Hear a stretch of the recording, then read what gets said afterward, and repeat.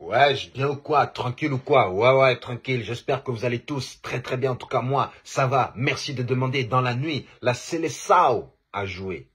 La Célessao a retrouvé son jeu grâce à un Vinicius Junior qui était en feu. Oh là là, doublé. Il a dribblé toute l'équipe. Il a marqué, fait marquer. Non, Vinicius Junior, c'est officiel, le ballon d'or. On va venir te l'offrir comme ça. Il n'y a pas de problème. Il n'y a personne qui va venir débattre. Oh non, tu mérites pas. Tu mérites le ballon d'or mille fois. Cette année, hein, Vinicius Junior nous a montré l'étendue de son talent. Et oh là là, on ne savait pas qu'il était aussi fort. Vinicius Junior, qui a été victime de racisme, pratiquement dans toute l'Espagne. Partout où il allait, on lui faisait des cris de singe. Maintenant, on va lui faire des cris de joie. Ouah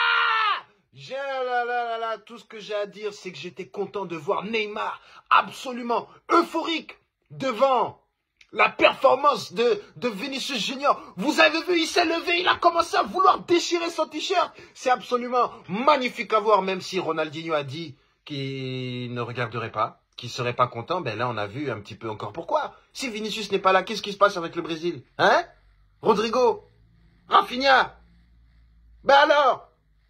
Heureusement qu'il y a Paqueta qui est là pour soutenir euh, Vinicius Junior. D'ailleurs, lui, on va voir euh, si l'année prochaine, il va pouvoir continuer à jouer au foot. Hein, parce que lui, là, il est dans des histoires. Oh là là, de paris, de tricherie. En tout cas, Vinicius Junior refait euh, vibrer et briller le Brésil. 4 buts à 1. Ça faisait combien de temps qu'on n'avait pas entendu le Brésil fracasser une équipe comme ça Hein? La Seleção.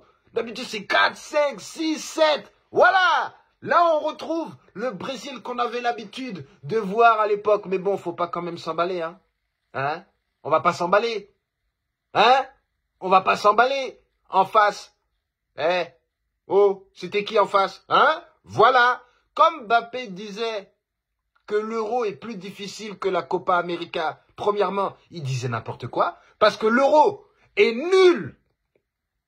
Nul. La Copa América, nul. Rien ne vaut la Coupe d'Afrique. Là, on a vu. Hein? Rien. Ça y est, l'Occident ne sait plus organiser les événements. Coupe du Monde. C'était en Arabie Saoudite. Magnifique. Ambiance de folie. Des matchs le matin. Là, oh là là. C'était la folie. Coupe d'Afrique. Ambiance. Audience. Qualité de jeu. Les buts. Rien à voir avec vous. Avec vos petits copains américains et Coupe d'Europe.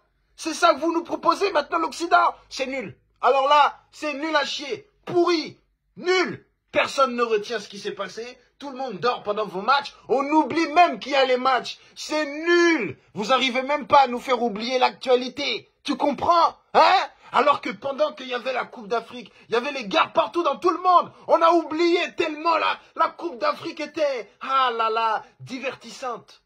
Mais vous, vous n'avez plus d'énergie. Ça y est, l'Occident a baissé les bras. Allez,